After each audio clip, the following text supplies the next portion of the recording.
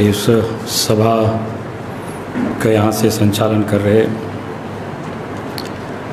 श्री बाल मुकुंद सहाय जी और श्री योगेंद्र प्रताप सिंह जी, भाई रवि जी,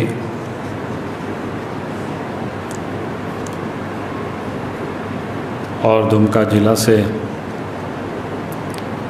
वहाँ जो प्रमुख रूप से जो सभी प्रमुख कार्यकर्ता, जैसे वहाँ के जिला अध्यक्ष, श्रीनिवास मंडल जी, वहाँ से सांसद श्री सुनील सोरेन जी, जिला के संयोजक गौरव कंता जी और कार्यक्रम प्रभारी पिंटू अग्रवाल जी। और वहाँ पर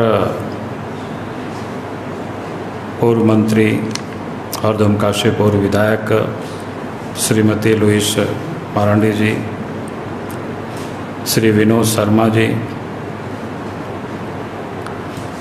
और वैसे वहाँ तमाम जो पार्टी के प्रमुख कार्यकर्ता हैं,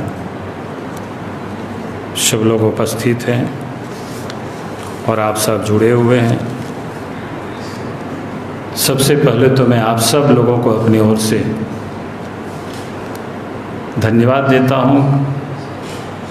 नमस्कार करता हूँ, जोहार करता हूँ कि आज इस वर्चुअल रैली में आप सब लोग हमारे साथ जुड़े हुए हैं। हम सब लोगों के लिए शायद एक नया प्रयोग है। क्योंकि जिस प्रकार से पिछले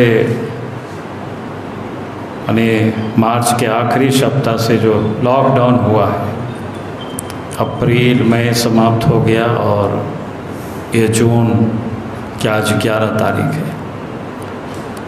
यानी लंबे समय तक सब लोग अपनी अपनी जगह पर अपने अपने घरों पर और अपने अपने क्षेत्रों में सोशल डिस्टेंसिंग को मेंटेन करते हुए समाज की सेवा में सब लोग लगे हुए हैं।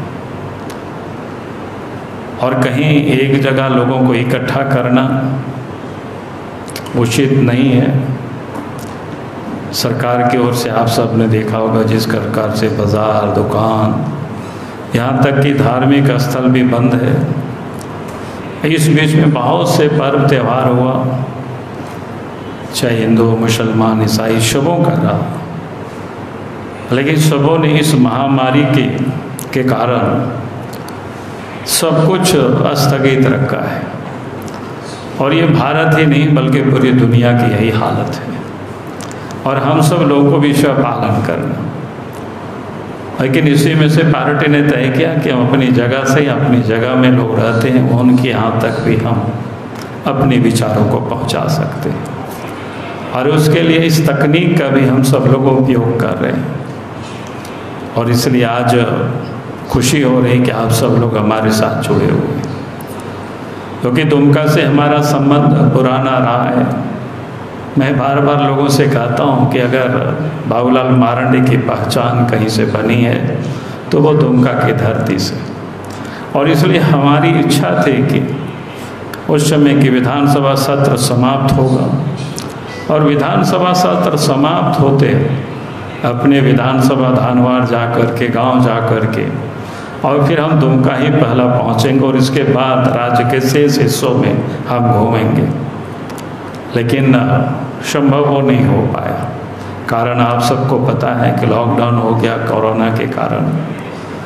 तो इसलिए हम चाह करके भी वहाँ तक नहीं पहुँच पा रहे और इसलिए आज आप सब लोगों से, इस तकनीक के माध्यम से ही आप सब लोगों से के यहाँ तक अपनी बातों को हम पहुँचा रहे और इसलिए मैं आप सबको अपनी ओर से आज आप सब लोग जुड़े उसके लिए मैं तहे दिल से बधाई देता हूँ। साथ ही इस कोरोना के काल में पार्टी की ओर से कार्यकर्ता ने जो सेवा का काम किया, वो अद्भुत है। और मैं तो कहूँगा कि भारतीय जनता पार्टी ने इस बात को चरितार्थ किया। कि हम राजनीति सिर्फ़ एमएलए, एमपी बनने के लिए ही नहीं करते या मात्र सरकार बनाने के लिए ही नहीं करते। राजनीति हमारे लिए समाज सेवा का एक माध्यम है। और इसको, इस विषम परिस्थिति में कार्यकर्ता ने इसको आगे बढ़ करके काम किया। और आज मैं कह सकता हूँ कि इस देश में और प्रदेश में भी पार्टी का कार्यकर्ता अपने सामर्थ्य से भी अधिक बढ़ चढ़ करके लोगों ने काम किया, समाज के लिए काम किया। जगह जगह पर लोगों ने भोजन बना करके लोग खिलाए, अभी भी लोग जगह जगह पर खिला रहे हैं। कहीं वो संभव नहीं हो पाया तो फिर पैकेट बना करके सूखा अनाज, ज़रूरतमंद लोगों के बीच में भी लोगों ने बांटने का काम किया। और मुझे आज खुशी हो रही है जान करके कि दुमका विधानसभा क्षेत्र में भी वहाँ के कार्यकर्ता उस विधानसभा क्षेत्र के और विशेष रूप से वहाँ पूर्व विधायक लुईस मारंडे जी, सबों ने मिल कर के उस विधानसभा क्षेत्र में भी लगभग छः हज़ार करीब लोगों के बीच में मोदी आहार यानी राशन को बांटा गया। ये बहुत बड़ी, कोई छोटा मोटा काम नहीं, अपने ओर से इकट्ठा करके, अपने जेब से भी कुछ निकाल करके और हमें उन लोगों के यहाँ तक पहुँचाना वास्तव में लोग जरूरतमंद हम सिर्फ़ सरकार के भरोसे ही बैठे नहीं रहे। अपने कार्यकर्ता अपने ओर से भी लोग निकले। और वहाँ ये भी पता चला कि 2000 करीब उस समय मार्क्स तो सब जगह मिल नहीं रहा था, बन भी नहीं रहा था तो गमछा का भी लोगों ने उपयोग किया। और हाट में भी जा करके उन लोगों को गमछा उपलब्ध कराए और वैसे ही बाद में मार्क्स का भी वितरण अभी भी है, जो हुआ है, जो हमें जानकारी मिली है, वो लगभग सात हज़ार से अधिक की संख्या में उसका भी वितरण हुआ है लोगों के बीच में। ये अपने आप में फिर हाईवे में जहाँ लोग दूर दराज में रहते थे, उनको जो छटपटाहट होती है अपने घर जाने को तो गाड़ी के लोगों ने प्रतीक्षा नहीं की दूर दूर से हज़ारों किलोमीटर, दो हज़ार किलोमीटर पैदल चल करके, साइकिल से चल करके, और जब ऐसे लोग चलने लगे, उनके तकलीफ़ को देख करके पार्टी की ओर से आदेश हुआ कि हमें उन लोगों को भी अनाज उपलब्ध कराना, भोजन, पानी, दवा, यानी पैर में चप्पल नहीं तो वो भी हमें उपलब्ध कराना। और इस काम में पूरे प्रदेश में भी कार्यकर्ता लगे और प्रदेश के साथ साथ दुमका जिला में भी, हाईवे में भी लगभग 1600 से अधिक लोगों को वहाँ भी भोजन पहुँचाया गया, पानी उपलब्ध गया।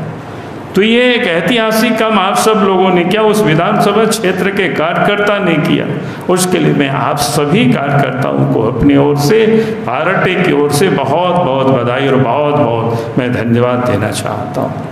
और मैं इसी प्रकार से जब कभी भी इस प्रकार की आपदा हो तो हमें कठिनाइयों में भी हमें समाज के लिए, लोगों के लिए हमें आगे आना चाहिए।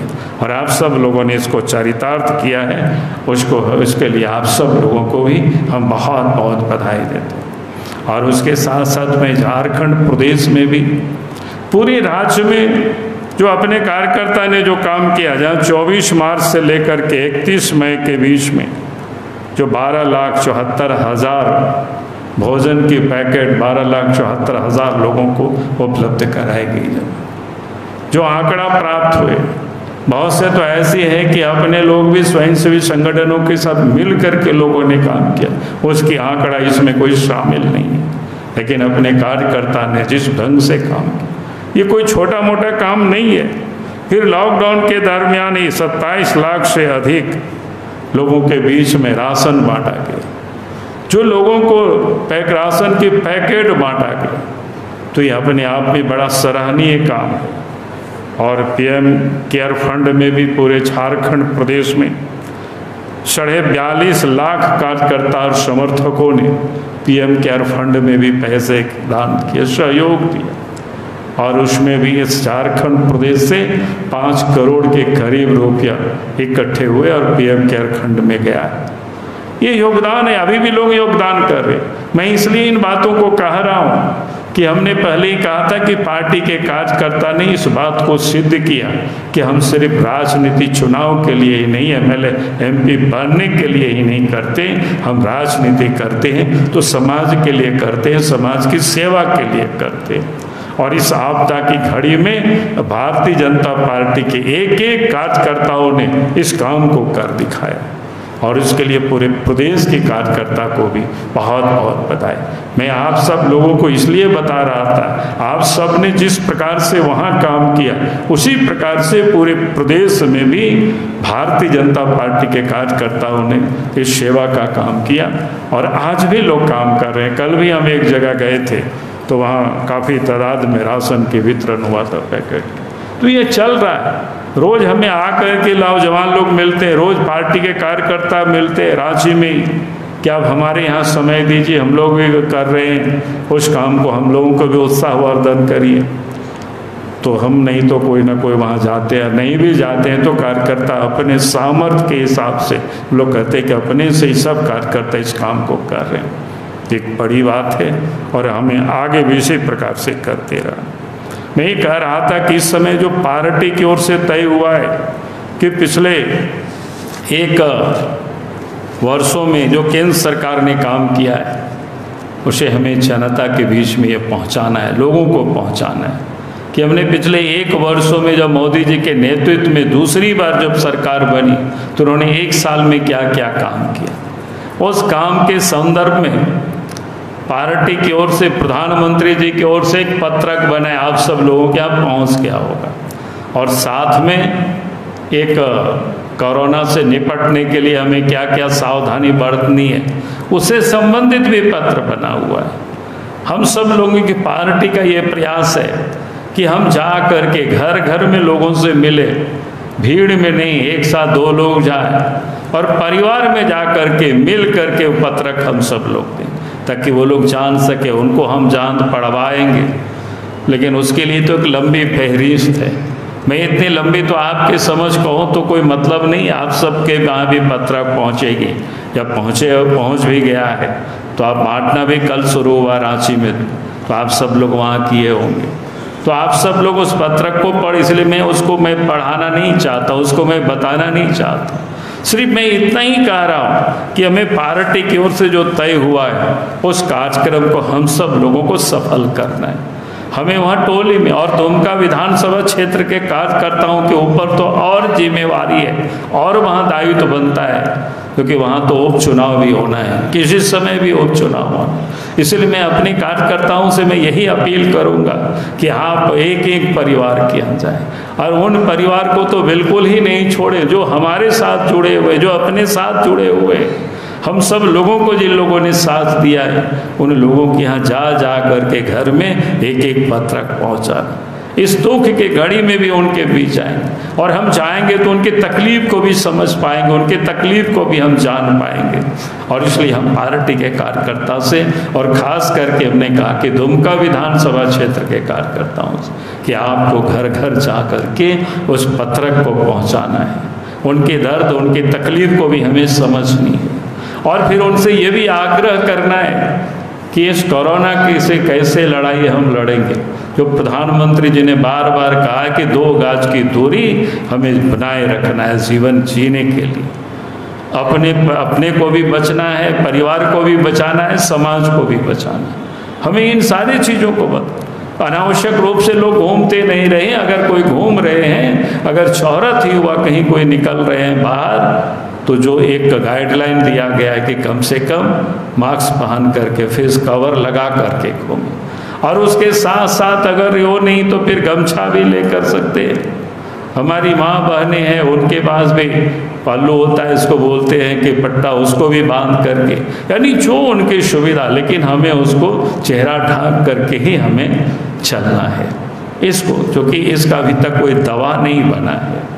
आज जितने भी देश दुनिया के जो बड़े बड़े साइंटिस्ट हैं, या दुनिया के जो विकसित देश है, उसको भी उन्होंने यही अपनाया है।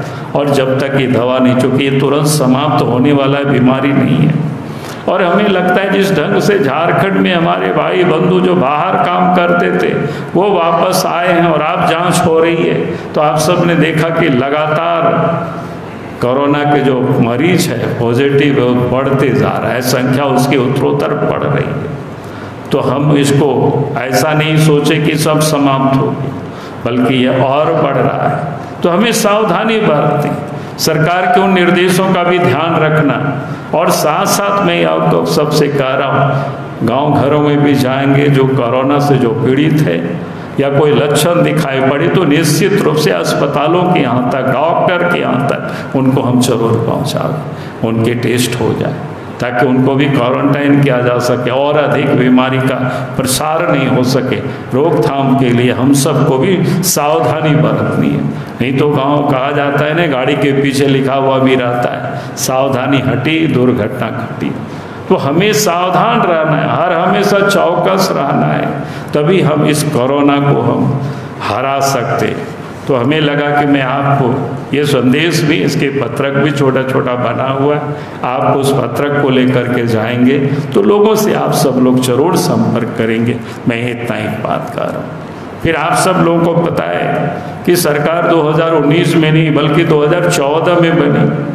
और ये पहली दफ़ा भारत के इतिहास में है कि कोई गैर कांग्रेसी सरकार पहली दफ़ा दोबारा पूर्ण बहुमत की सरकार बनी और पिछले बार की तुलना में अधिक सीटें ला करके फिर से मोदी जी के नेतृत्व में सरकार बनी। यह अपने आप में भारत में एक बड़ा ऐतिहासिक क्या ऐसा पहले कभी नहीं हुआ था। और इसलिए अगर ये संभव इसलिए हो पाया, क्योंकि आज देश की जनता का मोदी जी के ऊपर जो विश्वास है, भरोसा है, जो आस्था है, उसी के कारण ही ये संभव हो पाया। और विश्वास और भरोसा, ऐसा कुछ नहीं पैदा होता है तुरंत। उसके लिए जो मोदी जी का पिछले पाँच वर्षों में जो उन्होंने काम किया था, आप सबको पता है कि पहले गरीब कल्याण योजना के तहत चौंतीस करोड़ से अधिक लोगों की खाता खुलवाए बैंकों से लोगों को जोड़ा। जो आज तक इस देश के इतिहास में कभी हुआ नहीं था, लेकिन देश के प्रधानमंत्री बनते ही 2014 में इस काम को इन्होंने कर डाला। और आज उसका बड़ा परिणाम भी देखने को मिला। नहीं तो कभी कभी लोगों से कहा करता हूँ, पता नहीं, मोदी जी को शायद पता था कि 2019 में संकट आने वाला है। उस समय तो लोग मज़ाक उड़ाते थे कि भाई इतना खाता खुलवा दिए, पैसे ही सब लोगों के ठग लिए, लेकिन आज क्या है? आप उन्हीं खातों में देश के प्रधानमंत्री जी ने जब ये लॉकडाउन हुआ तो उन खा जान धन के खातों में अब वो पैसे भेज रहे हैं डायरेक्ट पैसे भेज रहे हैं। किस प्रकार से पैसे आ रहे, सब माँ बहनें बैंकों में लाइन लगी हुई, लोग निकाल रहे। यानी इस संकट की घड़ी में उस खाता की उपयोगिता इतनी बढ़ गई, जिसकी कोई कल्पना नहीं की जा सकती है। और इसलिए हमने कहा कि भाई देश के प्रधानमंत्री ने जो 2014 में सरकार बनने के बाद जो काम शुरू किए थे, उस काम का परिणाम 2019 के बाद ये लॉकडाउन के समय साफ़ दिख रहा है। और इतना ही नहीं, नौ करोड़ से अधिक। क्या कहते हैं, जो गरीब है, एलपीजी जो गैस सिलेंडर है, वो गरीबों को उपलब्ध करे, उजाला योजना के तहत। इस बार जब ये हुआ तो उसमें भी फिर तीन तीन की गैस, क्या कहते हैं, कनेक्शन, क्या कहते हैं, सिलेंडर उपलब्ध कराए। ये कोई छोटा मोटा काम नहीं है, कोई साधारण नहीं है। उसी प्रकार से गाँव में बिजली पहुंचाना, बहुत से गाँव झारखंड में भी छुटा हुआ था। लेकिन आज अधिकांश गाँव में बिजली पहुँच गई। ठीक है, थोड़ी समस्या होगी कि पूर्ण तरह से बिजली नहीं रहती है, लेकिन इस काम को भी किया और इतना ही नहीं, देश के सुरक्षा को भी मोदी जी ने मज़बूत किया। देश में पहले आतंकवादी हमले होते थे बड़े बड़े हमले होते थे। आतंकवादी कहीं भी घुस करके मारते थे। और हम कुछ कर नहीं पाते थे। लेकिन मोदी जी के काल में आप सबको ध्यान में होगा, पुलवामा की घटना उरी की घटना किसी से छुपा हुआ नहीं है। जब पुलवामा में और उरी में जब आतंकवादियों ने जब घटना की, सीआरपीएफ के जवानों को मार गिराया, उसके बाद एयर स्ट्राइक हुआ, सर्जिकल स्ट्राइक हुआ यानी भारत की भूमि से रातों रात पाकिस्तान की धरती में जाकर के बम गिराते ना आतंकवादियों के ठिकानों पर हमला करना। दुनिया को बता दिया कि हम इसको बर्दाश्त नहीं करेंगे। ये कोई सामान्य बातें नहीं है। बड़ी बातें थी दुनिया को संदेश दे दिया कि अगर हमारी धरती में आकर के आप खून खराबा करेंगे तो हम भी आपके घर में घुस करके आपको हम मारेंगे। ये देश के प्रधानमंत्री जी ने इसको कर दिखाया। ऐसे इन्होंने अनेक काम किए। वन नेशन, वन टैक्स का, जिसको जीएसटी कहते ये किसी भी पहले बहुत दिनों से चर्चाएँ चल रही थी, लेकिन किसी ने कोई इसको कर नहीं पाया था। लेकिन देश के प्रधानमंत्री जी, मोदी जी ने इसको कर दिया। ये बहुत बड़ी बात है। उससे बहुत ही व्यापार में आसान हुआ, कारोबार में आसान हुआ। आयुष्मान भारत योजना के तहत देश के 50 करोड़ से अधिक लोगों को स्वास्थ्य बीमा कराया गया ताकि पाँच लाख रुपया तक के वो मुफ़्त में इलाज करा सके। हर काम उस काम से अभी तक देश के प्रधानमंत्री जी ने भी अपनी भाषणों में कहा कि एक करोड़ से अधिक लोगों ने उसका लाभ उठा चुके हैं। हमें लोगों को जागरूक करना, लोगों को बताना कि उसका लाभ कैसे मिल सकता है, कैसे दिलाया जा सकता है। उसको और मज़बूत करना उस योजना को, ताकि इतनी बड़ी आबादी उससे कवर होंगे। तो हमें नहीं लगता है कि लोग कोई क्या कहते हैं, चिकित्सा के अभाव में लोग कोई मरेंगे। हमें याद है, हम तो जानते हैं कि बहुत बड़ी आबादी के पास पैसे नहीं होते थे। तो हम भी जब राज्य में मुख्यमंत्री बने थे तो उस समय यहाँ डेढ़ लाख तक की व्यवस्था किए थे। तो हम इसलिए मैं इस बात को कह रहा हूँ कि दिल्ली में हम लोग रहते थे, यहाँ से लोग दिल्ली जा कर के इलाज कराने के लिए उनके पास पैसे की अभाव होता था तो भारी समस्या उनके पास होती थी, इलाज नहीं करा पाते थे। लेकिन देश के प्रधानमंत्री जी ने उन गरीबों के भी तकलीफ़ को देख करके उन्होंने जो काम कर दिखाया है, वो किसी से छुपा हुआ नहीं है। स्वच्छ भारत अभियान, ये भी करोड़ों शौचालय पूरे देश में बनाए गए।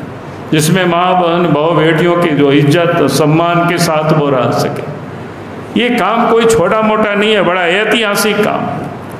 तो पिछले पाँच वर्षों में जो इस देश की सरकार ने काम किया, मोदी जी ने जो काम किया, प्रधानमंत्री बनते, उसका परिणाम ये होगा कि 2019 के चुनाव में 2014 से भी अधिक सीटें ला करके फिर से एनडीए के नेतृत्व में सरकार, मोदी जी के नेतृत्व में एनडीए की सरकार फिर से बनी इस देश में। और एक साल के अंदर में जिस प्रकार से जो काम किया, भारतीय जनता पार्टी ने जनसंघ काल से भारतीय जनता पार्टी का जो कोर इशू, जिसको कह सकते हैं, जिनकी मांगों को लेकर के पार्टी गठन वो समय से मांग कर रही थी। आप सबको याद होगा 370 धारा को समाप्त किया। 370 धारा तो सामान्य समझ में आता है, लेकिन जब देश स्वतंत्र हुआ था, उसके बाद कश्मीर का विलय भारत में हुआ, और उस समय भी एक छूट करा गए थे कि वहाँ पर जाने के लिए परमिट लेना पड़ता था। और इतना ही नहीं, वहाँ भी मुख्यमंत्री नहीं, प्रधानमंत्री कहलाते थे। भारत का कानून वहाँ लागू नहीं होता था। ऐसी अनेक विसंगतियाँ थी। और उसको लेकर के डॉक्टर श्यामा प्रसाद मुखर्जी, जो जनसंघ के संस्थापक अध्यक्ष थे, उस समय उन्होंने उसका विरोध किया और ने कहा कि एक देश में हम बिना परमिट के जाएँगे, परमिट लेने की शहरत कैसे हो सकती है?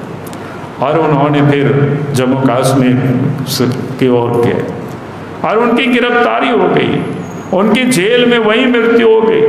और इसलिए जब कभी भी हम लोग उस समय याद करते, हम लोग नारा देते थे, जहाँ बलिदान हुए मुखर्जी, वो कश्मीर हमारा है। फिर हम लोग कहते थे, एक देश, एक निशान, एक प्रधान, एक विधान। लेकिन वहाँ दो प्रधान थे। तो उस समय परमिट सिस्टम तो उस कारण से समाप्त हो गया। उसके बाद वहाँ पर दो प्रधान, वहाँ भी प्रधानमंत्री होते थे, वो भी समाप्त हो गया। पद वहाँ भी मुख्यमंत्री कहलाता लेकिन 370 था। यहाँ की कानून वहाँ लागू नहीं होता था। तब उसका परिणाम वर्षों से, उस समय, जिस समय 370 संविधान में जोड़ा गया था, पैंतीस से जोड़ा गया था, उस वक्त तो वो क्या कहते थे कि ज्ञान, उस समय नेहरू जी देश के प्रधानमंत्री थे। वो कहते थे घीसते घीसते ये समाप्त हो जाए लेकिन घीसते घीसते समाप्त नहीं हुआ, बल्कि और मज़बूत हो गया था घीसते घीसते लेकिन मोदी जी ने 19 में सरकार बनाते ही फिर से, जब 19 में फिर से प्रधानमंत्री बने तो 370 भी समाप्त हो गया 35 ये भी समाप्त हो गया। और साथ ही पाकिस्तान क्या कहते हैं, जम्मू कश्मीर से लद्दाख को अलग करके वो भी केंद्र शासित राज्य बना। मैं इसलिए इस बात को कह रहा हूँ, क्योंकि भारतीय जनता पार्टी का शुरू से यह थी। और जब जब भारतीय जनता पार्टी सत्ता में आई तो अपोजिशन में बैठे हुए लोग इसको मज़ाक उड़ाते थे कि आपने कहा था तीन सौ सत्तर समाप्त करेंगे क्या हुआ? आपने तो अभी तक नहीं समाप्त किया। लेकिन तीन सौ सत्तर समाप्त किए तो सब लोग चुप हो गए। अब सबकी बोलती बंद हो गई। तो ये ऐतिहासिक निर्णय था। ये शायद दूसरों से ये संभव नहीं हो, हो पा रहा था। अगर ये उसको संभव कर पाया तो देश के प्रधानमंत्री नरेंद्र मोदी जी ने ये किया। और इसलिए हमें ये देश को बताना है, देश के लोगों को बताना है। फिर इतना ही नहीं, अयोध्या में राम मंदिर का मामला। अयोध्या में राम मंदिर का मामला वर्षों से पड़ा हुआ था, लटके हुआ था, केस वर्षों से चल रहा था, और लोग पूछते थे कि बीजेपी कहती है, राम मंदिर, जन्म जन्मभूमि पर राम मंदिर, भव्य राम मंदिर बनेगा, कब बनेगा? आप तो सत्ता में आए, बना नहीं रहे। आपकी हिम्मत नहीं है तरह तरह के लोग कमेंट करते थे। सार्वजनिक मंचों से भी लोग घोषणा करते थे। लेकिन देश के प्रधानमंत्री जी जब 2019 में फिर से देश के प्रधानमंत्री बने नरेंद्र मोदी जी तो वो मामला भी सॉल्व हो गया। सुप्रीम कोर्ट के पाँच जजों की पीठ ने सर्वसम्मति से उसकी फैसला सुना दी। और आप तो राम मंदिर बनाने का मार्ग प्रशस्त ही नहीं, बल्कि बनाने का काम भी आप प्रक्रिया में सब चल रहा है। यह ऐतिहासिक काम है, कोई छोटा मोटा काम नहीं है। किसी से यह संभव नहीं हुआ था वर्षों तक। देश के प्रधानमंत्री नरेंद्र मोदी जी ने इस मार्ग को भी प्रशस्त कर दिया। कि भारतीय जनता पार्टी तो शुरू से ही कह रही थी कि अयोध्या का मामला या तो आपसी विवाद, आपसी बातचीत से हल होगी या फिर अदालत के निर्णय से। और अदालत के निर्णय से अभी भी मामला पूरा हो गया। उसके साथ साथ 15 अगस्त उन्नीस को देश आज़ाद हुआ। लेकिन उसके साथ साथ देश का विभाजन भी हुआ, पाकिस्तान बना और पाकिस्तान से एक बांग्लादेश भी बना। और आज उन बांग्लादेश और पाकिस्तान में विभाजन के समय जो यहाँ के हिंदू भाई थे, उस समय वहाँ पर। आज वो उनको वहाँ से प्रताड़ित करके, उनको भागना पड़ा, दे अपना घर द्वार छोड़ करके भारत में आकर के लोग शरण लिए हुए थे। वर्षों से भारतीय जनता पार्टी शुरू से ही कहते रही कि जिस दिन हम सत्ता में आएँगे, हमारी सरकार होगी तो हम उन लोगों को भारत की नागरिकता हम दिलाएँगे। और इसका भी ये वर्षों से ये मांग थी। अब जो 19 में दोबारा देश की सरकार, प्रधानमंत्री नरेंद्र मोदी जी बने तो इस काम को भी पूरा कर दिया। नागरिकता संशोधन विधेयक पार्लियामेंट से पारित करके वो कानून बना। अब बांग्लादेश से, पाकिस्तान से, अफ़गानिस्तान से, जो भी वहाँ से हिंदू भाग करके आए थे सिख आए थे बौद्ध आए थे जैन आए थे पारसी आए थे ईसाई आए थे वो यूँ ही ऐसे ही रहते थे शरणार्थी। उनको भारत की कोई नागरिकता नहीं थी, लेकिन इस एक कानून ने उन सबों को भारत की नागरिकता दिला दी। उस कारण से बहुत सारे लोगों को परेशानी हुई, बहुत लोग अभी आंदोलन करते। बार बार देश के प्रधानमंत्री, देश के गृह मंत्री अमित शाह ने जी भी घूम घूम करके कहा, पार्लियामेंट में भी कहा भाई, ये जो नागरिकता संशोधन विधेयक है, किसी की नागरिकता को लेने वाली ये विधायक नहीं है, बल्कि नागरिकता देने की वाली विधायक है। लेकिन इसके बाद भी उसके लोग विरोध कर रहे अब विरोध का तो कोई पता नहीं क्यों विरोध करते और इसलिए मैं कह रहा हूँ कि ये बड़ा ऐतिहासिक काम हुआ है, कोई छोटा मोटा काम नहीं है। ये किसी से कोई संभव नहीं हो पा रहा था। ये देश के प्रधानमंत्री जी ने उस काम को कर दिया मोदी जी ने। यह अपना ऐतिहासिक काम।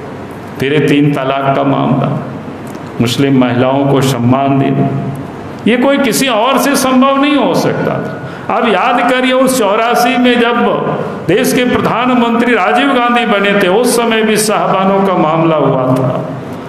और आज जितने सीटों से जीत करके मोदी जी देश के प्रधानमंत्री बने, उससे कहीं अधिक सीटें राजीव गांधी जीते थे। लेकिन उस समय जब सुप्रीम कोर्ट का निर्णय हुआ पार्लियामेंट में वो बिल हिम्मत नहीं कर पाए और उस कारण से फिर कदम उनको पीछे हटाना पड़ा था। लेकिन देश के प्रधानमंत्री जब 19 में फिर से नरेंद्र मोदी जी बने तो इन्होंने तीन तलाक के बिल को भी पार्लियामेंट से पारित करा दिया। आज मुस्लिम महिलाएँ सम्मान के साथ सर उठा करके बाकी की तरह वो भी जी रहे तो ये अपने आप में बड़ी बात है। कोई छोटा मोटा ये काम नहीं है। चाहे वो बोर्डो की समस्या हो, चाहे वो त्रिपुरा की समस्या हो, जितना कठिन से कठिन जो समस्या तो उसका भी समाधान करने की दिशा में सरकार ने ऐतिहासिक कदम उठाए। आज भी हम सब लोग देखते हैं, देश की सुरक्षा के मामले में किस प्रकार से। अभी चाइना के साथ ही जो स्थिति है, वो किसी से छुपा हुआ नहीं दुनिया बड़ी चिंतित है कि भारत को एक ऐसे प्रधानमंत्री मिले हैं जो कहते हैं, वो कर दिखाते हैं। ये भारत के इतिहास में पहली दफ़ा। और इसलिए आप देखते होंगे, चीन भी अपनी, चीन की सेना भी अपने कदमों को पीछे हटने पर मजबूर हुआ है। तो ये अगर संभव हो पाया है तो देश के प्रधानमंत्री नरेंद्र मोदी जी के कुशल नेतृत्व के कारण ये संभव हो पाया इसलिए मैं आप सबसे कह रहा हूँ कि आज जो देश की हालत, देश की सुरक्षा उसको मज़बूत किया है। और साथ ही देश में गाँव, गरीब किसान इस लॉकडाउन के समय में भी जिस प्रकार से सरकार ने पहले गरीब कल्याण योजना के लिए एक लाख सत्तर एक लाख सत्तर हज़ार करोड़ के पैकेज की घोषणा की। उसके बाद 20 लाख करोड़ के पैकेज की घोषणा की। ताकि कोई लोग भूखे नहीं रहे, कोई भूखे नहीं मरे। छोटे छोटे जो उद्योग बंद पड़े हुए थे, वो उद्योग भी खोल पड़े, वो भी चल पड़े। यानी कहीं से किस प्रकार से देश के लिए चिंतित है, वो किसी से छुपा हुआ नहीं है। अगर इस काम को किसी ने किया तो देश की देश की सरकार ने, प्रधानमंत्री जी ने और आज भी आप देखते होंगे, झारखंड में भी आप देखिए, यहाँ भी जितनी सारे काम चल रहे हैं, भले आज ये सरकार कहती, हमने आज एक कांग्रेस के बड़े लीडर का हमने देखा, कहता है कि खाद्य सुरक्षा विधेयक हमने पास किया, इसलिए अनाज मिल रहा है, इसीलिए लोग जी रहे हम उनको याद दिलाना चाहते हम जब इस, जब केंद्र में सरकार थी, अटल बिहारी वाजपेयी जी के नेतृत्व में तो 2001 में इस योजना को उन्होंने चालू किया था और उस समय गरीबों के को पैंतीस किलो अनाज उस समय मिल रहा था। अंत्योदय अन्न योजना के तहत 10 किलो अनाज फ्री में मिल रहा था गरीबों को। तो ऐसा नहीं है। बाद में उसको कानूनी रूप भले आपने दिया होगा, यूपीए सरकार ने दी होगी। लेकिन उस योजना का शुभारंभ हमने तो अपने हाथों से किया है। उस समय घूम घूम करके 35 किलो अनाज लोगों को सही ढंग से मिले गरीबों को। तो ये योजना तो उसी समय सरकार ने शुरू कर दी थी। और इसलिए आज भी मैं देखा होगा इस लॉकडाउन के समय में भी तीन तीन महीना का अग्रिम जिसको कहते हैं राशन भेजते ताकि कोई अफरा तफरी नहीं हो, जिसके पास राशन कार्ड नहीं था वैसे भी लोगों, परिवारों के लिए दस किलो अनाज की व्यवस्था। किसानों के खाते में पैसा भेजना। तो ये आज तक कभी ऐसा हुआ नहीं था। पहले तो सरकार ही प्रधानमंत्री पहले कहते थे क्या? आप सबको याद होगा कि पैसे हम भेजते हैं तो घिसते घिसते वहाँ पंद्रह पैसे ही लोगों के जेब में पहुँचता है। लेकिन देश के प्रधानमंत्री नरेंद्र मोदी जी ने ऐसी व्यवस्था खड़ी कर दी कि पंद्रह पैसा नहीं, कि सौ में से सौ पैसा लोगों के खाते में आप पहुँच रहे चाहे वो किसानों के खाते में हो, चाहे दिव्यांग के खाते में हो, चाहे बूढ़े बुज़ुर्गों के खाते में हो, चाहे वो जनधन योजना के खाते में हो, वो पैसा कोई बिचौलिया कोई इधर उधर नहीं जा रहा है, सीधे उनके खाते में जा रहा है।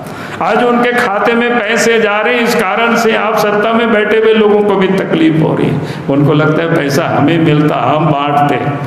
तो इस कारण से आप रोज देखते होंगे, हमें पैसे नहीं दे रहे। हमने तो कहा कि भाई, आपको जितना मिला है कहाँ कहाँ खर्च किए? और किन किन क्षेत्रों में खर्चा के लिए आप पैसे मांग रहे हैं? थोड़ा ये तो बताओ, हालत क्या है? अस्पतालों के किसी से छुपा हुआ नहीं है। जाँच का क्या स्थिति है? इतने दिनों से यहाँ आवाज़ हम सब लोग उठाते तो आज मैं कह रहा था कि सरकार किस प्रकार से यहाँ काम कर रही है और केंद्र सरकार ने किस प्रकार से राज्यों को सहयोग कर रही है, छोटे उद्यमियों को सहयोग कर रही है, किसानों को सहयोग कर रही यानी वो किसी से छुपा हुआ नहीं है। और आज पूरे देश में मजदूरों को भी लाने का किस प्रकार से काम किया, वो भी किसी से छुपा हुआ नहीं है। यानी लाखों मजदूर 3,840 ऐसे विशेष ट्रेन चलाई गई। और झारखंड को भी दिया गया। और झारखंड सरकार ने तो कोई लेने से ही इनकार कर दिए थे। कर्नाटक से जब पिछले आठ तारीख से लेकर के पंद्रह तारीख तक प्रत्येक दिन दो ट्रेन चलाने की बात थी। सरकार ने हाथ खड़े कर दिए कि हम नहीं ले सकते इतने लोगों को इतने लोगों की देखभाल नहीं कर सकते। हमने खुद मुख्यमंत्री से बात की वो फिर तैयार नहीं हुए। तो हम किसको ये कहें? देश के रेल मंत्री जी से हमने बात की थी। हमने कहा कि भाई आप यहाँ दीजिए। उन्होंने कहा कि हम तो देने के लिए तैयार है। राज्य सरकार लेने को तैयार नहीं और इस कारण से मजबूर होकर के, लाचार होकर के, विवश होकर के लोगों को पैदल आना पड़ा। बसों से लोग आए, ट्रकों से लोग आए, साइकिल से लोग आए, मोटरसाइकिल से लोग आए। यानी झारखंड के लोगों में जो कष्ट हुआ, जो तकलीफ़ हुआ अगर सरकार चाहती, हमने तो उस समय भी कहे थे कि वे लोग भगदड़ नहीं मचेगी। आप उनके लिए वही काम करिए। आप यहाँ से अफसरों को भेजिए जो बड़े बड़े महानगरों में, मुंबई में, दिल्ली में, हैदराबाद में, सूरत में लोग फंसे हुए, बड़ी तादाद में लोग हैं। वहाँ पर यहाँ से अफसरों को भेजिए, वहाँ के प्रशासन से सहयोग लेकर के, और जहाँ जहाँ लोग ठहरे हुए, वहाँ तक अनाज पहुँचा दे, वहाँ तक खाने की सामग्री पहुँचा दे तो फिर लोगों में अफरा तफरी नहीं होगी, लोग दौड़ेंगे नहीं, लोग भागेंगे नहीं। लेकिन इन्होंने कुछ नहीं किया। कुछ अफसरों को नियुक्त कर दिए नोडल मोबाइल नंबर दे दिए, लेकिन उसमें भी लग नहीं रहा था। जगह जगह से मजदूर ये कर रहे थे। कि हम लोग टेलीफोन करते, कोई उठाने वाला नहीं। भाई, सरकार चाहती तो बाहर में भी जो लोग पड़े हुए थे, उन लोगों को भी कोई तकलीफ़ नहीं होता, उन लोगों को हम वहीं सब कुछ उपलब्ध करा सकते थे।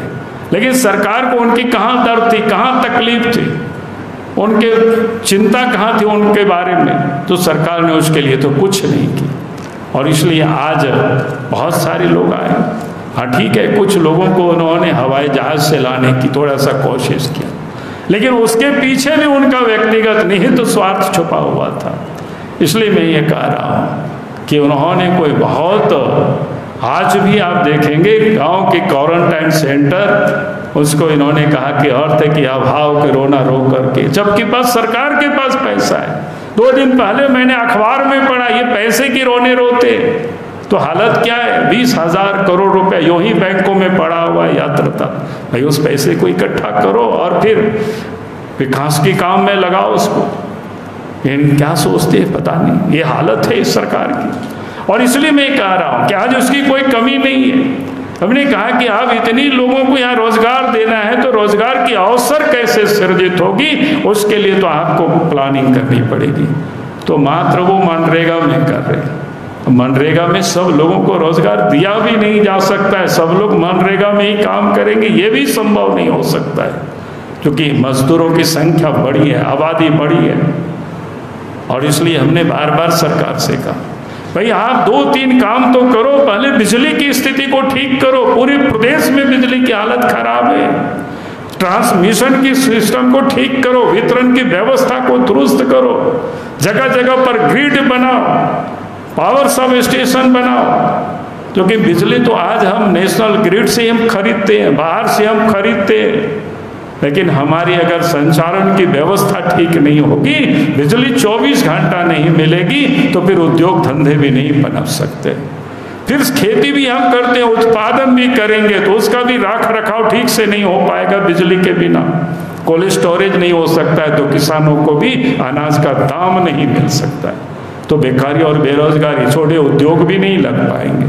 तो इसलिए बेसिक जो चीज़ें हैं, वो बिजली को ठीक करना तो सरकार उसमें बिल्कुल मौन है। उनकी कोई दिखती नहीं है किसके पास कोई विजन नहीं, क्या करना, क्या नहीं करना, इनको समझ में नहीं आता है। इसलिए मैं आप सब लोगों से कह रहा हूँ कि हमें इस बात को ध्यान में रख करके सरकार की उपलब्धि को ही नहीं केंद्र सरकार के सिर्फ़ उपलब्धि कोई नहीं, आज जो इस राज्य की जो आवश्यकताएँ है, उस पर भी हम सब लोगों को ध्यान रखना होगा और उसके लिए हमें जनता के बीच जा करके लोगों को हमें समझाना है, लोगों को हमें बताना है, लोगों को हमें अपने साथ जोड़ना है, यही मैं आप सब लोगों से निवेदन कर रहा हूँ। और फिर प्रधानमंत्री जी ने कहा है मनरेगा में तो साठ हज़ार से और चालीस हज़ार करोड़ रुपया देख करके पूरे एक लाख करोड़ रुपया के पूरे देश को दिया स्वाभाविक है, झारखंड को भी उसका हिस्सा मिलेगा। तो जितनी भी रोज़गार मिल सकता है वो लोगों को मिलेगी। हमने तो यहाँ तक कहा है सरकार से कि भाई हमारे लोग बड़ी आबादी है, लोग कहीं ना कहीं बाहर जाएँगे, ये लोग जाते ही हैं। अभी भी आपने देखा होगा सरकार ने किया है एमओयू क्या कहते हैं बॉर्डर रोड ऑर्गेनाइजेशन से कि लोग जाए काम करने में, अच्छे काम किया है मुख्यमंत्री जी ने।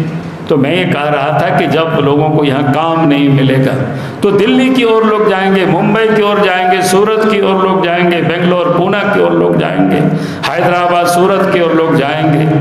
तो हमने कहा कि भाई, वहाँ भी मजदूरों के लिए आप एक सुविधा केंद्र बनाइए। ताकि उनको कोई भी किसी प्रकार की तकलीफ़ हो, कठिनाई हो तो वहाँ लोग संपर्क कर सके, वो अपने आप को असहाय महसूस नहीं करे।